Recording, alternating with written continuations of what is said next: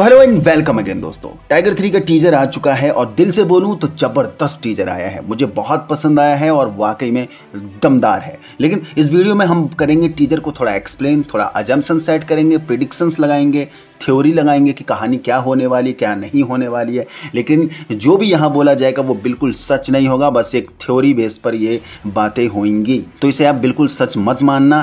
तो शुरुआत करते हैं। वैसे टीजर देखकर बच्चा बच्चा समझ जाएगा कि मूवी की एक्चुअल कहानी क्या होने वाली है? मूवी स्टार्टिंग से किस पार्ट में घूमने वाली है? जी हाँ दोस्तों, जो ये टीजर का नाम है ना कि टाइगर का मैसेज वाकई में ये मैसेज सिर्फ़ मूवी के अंदर ही नहीं दिया गया है। एक्चुअली ये हमारे लिए भी था कि मूवी में आखिर होने क्या वाला है? जी हाँ दोस्तों 20 साल के सच्चे देशभक्ति के बाद अपना हीरो टाइगर उर्फ़ अविनाश सिंह राठौड़ को ट्रेटर का टैग दे दिया गया है। मतलब देशद्रोही गद्दार बोल दिया गया है। तो यस, एक लाइन में कहूँ तो सलमान उर्फ़ टाइगर भाई एजेंसी से, गवर्नमेंट से इट मीन्स रॉ से लड़ेगा। ये गद्दारी का टैग हटाने के लिए पूरी मूवी में लेकिन दूसरी तरफ़ एजेंसी रॉ एजेंसी टाइगर को पकड़ेगी। साथ ही साथ कहते हैं ना, जब लंका लगती है तो चारों तरफ़ से लगती है। मतलब जब मुसीबतें आती तो सारी तरफ़ से आती इट मीन्स ये कि आईएसआई का दुश्मन भी कौन है? अपना टाइगर भाई। क्योंकि उनकी चटक सुंदरी जोया के साथ जो रिवर्स लव जिहाद किया था, वो कौन है? अपना टाइगर भाई है। तो इसे पकड़ेगी कौन? आईएसआई। जिसका एक मंजर वो लास्ट के चौबीस सेकेंड का जो एक्शन सीक्वेंस में दिख रहा है, जिसमें वो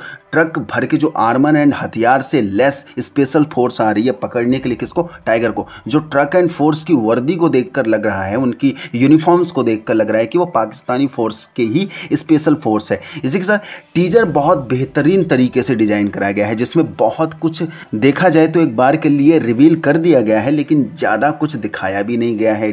इट मीन्स ये कि सांप भी मर जाए, लाठी भी ना टूटे। मतलब मैं बताऊँ यहाँ सीन क्या कर दिया है? सीन ये हो चुका है। हमें सीधा सीधा लग रहा है कि टाइगर की लड़ाई अब रॉ एजेंसी से होगी गवर्नमेंट से होगी। और बस इसी गुत्थम गुत्था में मूवी निकल जाएगी, लेकिन ऐसा कुछ नहीं है। हाँ ये चीज़ बिल्कुल ठीक है कि लड़ाई होगी। अपना हक के लिए टाइगर किसी भी हद तक जाएगा, ही जाएगा। लेकिन यहाँ इमरान हाशमी को अभी दिखाया नहीं गया है। और उसका लुक वैसे ही बहुत ज़बरदस्त लग रहा है। तो विलेन के रूप में ये बंदा फाड़ने वाला है एक बार के लिए। देखो, इतना कुछ अभी समझ में नहीं आ रहा है टीजर से क्योंकि क्योंकि मैं उम्मीद में था कि एक छोटा सा लुक ही आ जाना था इमरान हाशमी का। अगर आ जाता तो यहाँ से बहुत कुछ पता लग सकता था, बहुत कुछ डिकोड हो सकता था एक्सप्लेन हो सकता था बट उनका कुछ भी नहीं दिया गया है। तो मेकर्स ना यहाँ पर फुल सेफ़ खेल रहे हैं। आज सिर्फ़ टाइगर को, सलमान भाई को ही फोकस करके ही दिखाया गया है। उनके डायलॉग डिलीवरी से लेके, उनके बोलने से लेके, उनके सारे एक्शन सिक्वेंस में भी हमें सिर्फ़ टाइगर ही देखने को मिला है। तो यहाँ से मूवी का ना सिर्फ़ एक पार्ट पता लगा है और बाकी पार्ट में क्या होने वाला है? ये बस अजम्पन्स एंड थ्योरीज हैं। तो उसी पर बात कर रहे हैं। लेकिन जो ये स्पेशल फोर्स जा रही है ना मेन लीडर मैं कह सकता हूँ, या फिर यहाँ पर एक निकल रहा है कि इमरान हाशमी हो सकता है, या फिर कोई और टेररिस्ट भी हो सकते हैं तो ये बंदा अलग पिलाई करेगा डेफिनेटली टाइगर की। दूसरी तरफ़ रॉ जो है, हाथ धोकर पीछे पड़ी रहेगी किसके? टाइगर के। तीसरी तरफ़ आईएसआई इसका पीछा बिल्कुल नहीं छोड़ेगी, वो भी ज़बरदस्त पंगे में लगी रहेगी। चौथा भाई, अब टाइगर अपना बाप बन चुका है तो एक पिता की रिस्पॉन्सिबिलिटी होती है हरदम अपने बच्चे को प्रोटेक्ट करने की। तो अब यहाँ से ना दो कहानी निकलती है। जब पठान को मदद चाहिए थी, तब टाइगर आया था उसकी मदद के लिए, जो पठान के कैमियो में हम देख चुके हैं मूवी में, साल की शुरुआत में। उसकी हेल्प करने के लिए आता है। वो जो कैमियो का पार्ट था तो इतनी बड़ी जंग में इसे अपने बच्चे का पूरा ख्याल भी रखना है किसको? टाइगर को। तो मेरा एक प्रिडिक्शन ये निकल रहा है, मेरी एक थ्योरी ये निकल रही है कि पठान का जो कैमियो होगा, वो मे भी टाइगर को बच्चे को सेफली प्रोटेक्ट करने का होगा और उसे कहीं ना कहीं सेफ़ जगह में ले जाने का होगा। और टाइगर उससे कहेगा कि तो भाई इसका ख्याल रखना, जब तक कि मैं अपनी जंग सुलझा के आता हूँ, निपट के आता हूँ। एक तो ये एंगल हो सकता है और एंगल दूसरा ये भी हो सकता है हाँ सेकेंड एंगल पर भी आएँगे, लेकिन अगर ऐसा हुआ, अगर ऐसा हो गया तो यहाँ से टाइगर वर्सेस पठान का एक क्ल्यू निकल रहा है, एक लिंक जनरेट हो रहा है एक्चुअल फाइट का रीजन कि टाइगर को पकड़ने के लिए पठान से शायद से शायद बच्चा रॉ वाले छीन लें या कोई भी एक थ्योरी, एक सीन सिक्वेंस जनरेट हो जाएगा जो हम बहुत सी स्पाई यूनिवर्स मूवी में देख चुके हैं। बहुत सी ऐसी हॉलीवुड की मूवी भी हैं, और भी हैं। सिंपल कुछ ना कुछ कहानी निकल जाएगी जिससे कि रॉ वाले उस बच्चे को, टाइगर के बच्चे को पठान से छीन सकते हैं। और इसकी खबर एजेंसी को पता लग जाएगी, पहले से ही ये भी हम बहुत बार देख चुके हैं। नॉर्मल सा है स्पाई यूनिवर्स में ऐसी कहानियाँ चलती रहती हैं। और पठान को है ट्रस्ट इश्यू का चक्कर, ये चीज़ हम पठान में देख चुके हैं। तो जाने अनजाने में पठान के हाथ से टाइगर का बच्चा निकल जाएगा और रॉ के कब्जे में आ जाएगा। तो यहाँ से टाइगर वर्सेस पठान हो सकती है। ये लिंक, सॉलिड लिंक है। यहाँ से ये जनरेट हो सकती है। यहाँ से ये फाइट जनरेट हो सकती है बाई गॉड। देखो, तुम यहाँ से ये मत कहने लग जाना कि यार ये तो तुम टाइगर वर्सेस पठान की कहानी बता रहे हो, बट बाबा ये इस मूवी में हो सकता है। क्योंकि ईजली इन्होंने ऊपर ऊपर से बता दिया है कि टाइगर को इस मूवी में मैं ट्रेटर नहीं हूँ, गद्दार नहीं हूँ, ये प्रूफ तो करना ही है, लेकिन इसके अंदर क्या क्या चलने वाला है, इसी के साथ बहुत कुछ चलने वाला है।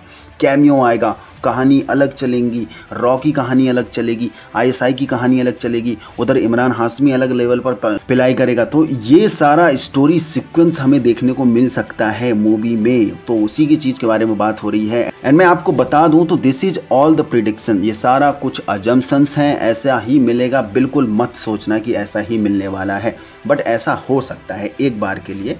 ये पॉसिबिलिटी है प्रोबेबिलिटी है, ये प्रिडिक्शन मैं आपको बता रहा हूँ। दूसरा दूसरा एंगल ये हो सकता है, पठान हेल्प करने तो आएगा ही आएगा टाइगर की, ये तो डेफिनेटली बिल्कुल है। लेकिन उससे कुछ ऐसी गलती हो जाएगी जिससे टाइगर वर्सेस पठान का लिंक जनरेट हो जाएगा।